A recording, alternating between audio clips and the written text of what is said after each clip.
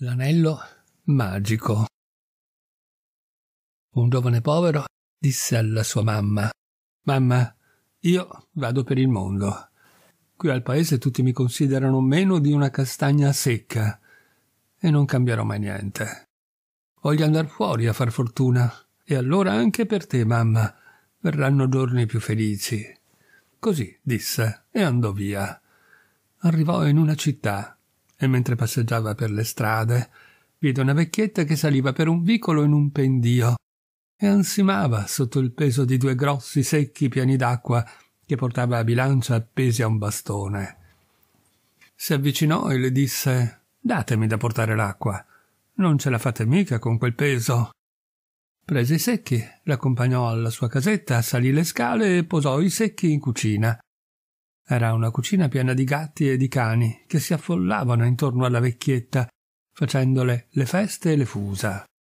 Cosa posso darti per ricompensa? chiese la vecchietta. Roba da niente, disse lui. L'ho fatto solo per farvi piacere. Aspetta, disse la vecchietta. Uscì e tornò con un anello. Era un anellino da quattro soldi. Glielo infilò al dito e gli disse Sappi che questo è un anello prezioso. Ogni volta che lo giri e gli comandi quello che vuoi, quello che vuoi avverrà. Guarda solo di non perderlo, che sarebbe la tua rovina. E per essere più sicura che non lo perdi, ti do anche uno dei miei cani e uno dei miei gatti, che ti seguono dappertutto. Sono bestie in gamba, e se non oggi, domani ti saranno utili. Il giovane le fece tanti ringraziamenti e se ne andò ma a tutte le cose che aveva detto la vecchia non ci badò, né poco né tanto, perché non credeva nemmeno a una parola. Discorsi da vecchia, si disse, e non pensò neanche a dare un giro all'anello, tanto per provare. Uscì dalla città e il cane e il gatto gli trotterellavano vicino. Lui amava molto le bestie ed era contento d'averle con sé. Giocava con loro e li faceva correre e saltare. Così correndo e saltando entrò in una foresta. Si fece notte e dovette trovare riposo sotto un albero. Il cane e il gatto gli si coricarono vicino. Ma non riusciva a dormire perché gli era venuta una gran fame. Allora si ricordò dell'anello che aveva al dito. A provare non si rischia niente, pensò. Girò l'anello e disse Comando da mangiare e da bere. Non aveva ancora finito di dirlo che gli fu davanti una tavola imbandita con ogni specie di cibi e bevande e con tre sedie. Si sedette lui e s'annodò un tovagliolo al collo. Sulle altre sedie fece sedere il cane e il gatto. Annodò un tovagliolo al collo anche a loro e si misero a mangiare tutti e tre con molto gusto. Adesso all'anellino ci credeva. Finito di mangiare, si sdraiò per terra e si mise a pensare a quante belle cose poteva fare ormai. Non aveva che l'imbarazzo della scelta. Un po' pensava che avrebbe desiderato mucchi d'oro e d'argento, un po' preferiva carrozze e cavalli, un po' terre e castelli, e così un desiderio cacciava via l'altro. Qui ci divento matto, si disse alla fine, quando non ne poté più di fantasticare. Tante volte ho sentito dire che la gente perde la testa quando fa fortuna, ma io la mia testa voglio conservarmela quindi per oggi basta. Domani ci penserò. Si coricò su un fianco e si addormentò profondamente. Il cane si accucciò ai suoi piedi, il gatto alla sua testa e lo vegliarono. Quando si destò, il sole brillava già attraverso le cime verdi degli alberi. Tirava un po' di vento, gli uccellini cantavano e a lui era passata ogni stanchezza. Pensò di comandare un cavallo all'anello, ma la foresta era così bella che preferì andare a piedi. Pensò di comandare una colazione, ma c'erano delle fragole così buone sotto i cespugli che si contentò di quelle. Pensò di comandare da bere, ma c'era una fonte così limpida che preferì bere nel cavo della mano. E così, per prati e campi, arrivò fino a un gran palazzo. Alla finestra era affacciata una bellissima ragazza che a vedere quel giovane, che se ne veniva allegro a mani in tasca, seguito da un cane e da un gatto, gli fece un bel sorriso. Lui alzò gli occhi e se l'anello aveva conservato, il cuore l'aveva belle perduto. Ora sì che è il caso di usare l'anello, si disse. lo girò e fece. Comando che di fronte a quel palazzo sorga un altro palazzo ancora più bello, con tutto quello che ci vuole. E in un batter d'occhio il palazzo era già lì, più grande e più bello dell'altro, e dentro ci stava già lui, come ci avesse sempre abitato, e il cane era nella sua cuccia, e il gatto si leccava le zampine vicino al fuoco. Il giovane andò alla finestra, la perse, ed era proprio di rimpetto alla finestra della bellissima ragazza. Si sorrisero, sospirarono, e il giovane capì che era venuto il momento d'andare a chiedere la sua mano. Lei era contenta, i genitori pure, e dopo pochi giorni avvennero le nozze. La prima notte che stettero insieme, dopo i baci, gli abbracci e le carezze, lei saltò su a dire Ma di, come mai il tuo palazzo è venuto fuori tutto a un tratto come un fungo? Lui era incerto se dirglielo o non dirglielo, poi pensò è mia moglie e con la moglie non è il caso di avere segreti e le raccontò la storia dell'anello. Poi tutti contenti s'addormentarono. Mentre lui dormiva, la sposa pian piano gli tolse l'anello dal dito.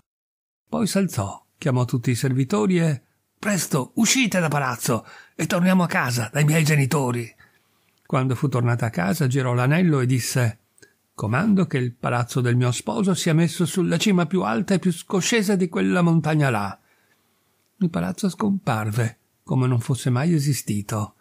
Lei guardò la montagna ed era andato a finire in bilico, lassù, sulla cima. Il giovane si svegliò al mattino. Non trovò la sposa al suo fianco. Andò ad aprire la finestra e vide il vuoto. Guardò meglio e vide profondi burroni in fondo in fondo e intorno montagne con la neve. Fece per toccare l'anello e non c'era. Chiamò i servitori, ma nessuno rispose. Accorsero invece il cane e il gatto, che erano rimasti lì, perché lui alla sposa aveva detto dell'anello e non dei due animali. Da principio non capiva niente. Poi a poco a poco comprese che sua moglie era stata un'infame traditrice e com'era andata tutta quella storia. Ma non era una gran consolazione. Andò a vedere se poteva scendere dalla montagna, ma le porte e le finestre davano tutte a picco sui burroni. I viveri nel palazzo bastavano solo per pochi giorni e gli venne il terribile pensiero che avrebbe dovuto morir di fame. Quando il cane e il gatto videro il padrone così triste, gli si avvicinarono e il cane disse Non disperarti ancora, padrone. Io e il gatto una via per scendere tra le rocce riusciremo pure a trovarla e una volta giù ritroveremo l'anello. Mie care bestiole, disse il giovane, voi siete la mia unica speranza, altrimenti preferisco buttarmi giù per le rocce piuttosto che morir di fame. Il cane e il gatto andarono, s'arrampicarono, saltarono per balze e per picchi e riuscirono a calar giù dalla montagna. Nella pianura c'era da attraversare un fiume. Allora il cane prese il gatto sulla schiena e nuotò dall'altra parte. Arrivarono al palazzo della sposa traditrice che era già notte. Tutti dormivano d'un sonno profondo. Entrarono pian pianino dalla gattaiola del portone. Il gatto disse al cane Ora tu resta qui a fare il palo. Io vado su a vedere cosa si può fare. Andò su quatto quatto per le scale, fin davanti alla stanza dove dormiva la traditrice. Ma la porta era chiusa e non poteva entrare. Mentre rifletteva quel che avrebbe potuto fare, passò un topo. Il gatto la chiappò. Era un topone grande e grosso, che cominciò a supplicare il gatto di lasciarlo in vita. Lo farò, disse il gatto, ma tu devi rodere questa porta in modo che io possa entrarci. Il topo cominciò subito a rosicchiare. Rosicchia, rosicchia. Gli si consumarono i denti, ma il buco era ancora così piccolo che non solo il gatto, ma nemmeno lui topo ci poteva passare. Allora il gatto disse Hai dei piccoli. E come no? Ne ho sette o otto, uno più vispo dell'altro. Va a prenderne uno in fretta, disse il gatto, e se non torni ti raggiungerò dove sei e ti mangerò. Il topo corse via e tornò poco dopo con un topolino. Senti, piccolo, disse il gatto, se sei furbo, salvi la vita a tuo padre. Entra nella stanza di quella donna, sali sul letto e sfilale l'anello che porta al dito. Il topolino corse dentro, ma poco dopo era già di ritorno, tutto mortificato. Non ha anelli al dito, disse Il gatto non si perse d'animo. Vuol dire che lo avrà in bocca, disse. Entra di nuovo, sbattile la coda sul naso. Lei starnutirà e starnutendo aprirà la bocca. L'anello salterà fuori. Tu prendilo svelto e portalo subito qui. Tutto avvenne proprio come il gatto aveva detto. Poco dopo il topolino arrivò con l'anello. Il gatto prese l'anello e a grandi salti corse giù per la scala. Hai l'anello? chiese il cane. Certo che ce l'ho, disse il gatto. Saltarono fuori dal portone e corsero via. Ma in cuor suo il cane si rodeva dalla gelosia, perché era stato il gatto a riprendere l'anello. Arrivarono al fiume. Il cane disse Se mi dai l'anello, ti porto dall'altra parte. Ma il gatto non voleva e si misero a bisticciare. Mentre bisticciavano il gatto si lasciò sfuggire l'anello. L'anello cascò in acqua. In acqua c'era un pesce che l'inghiottì.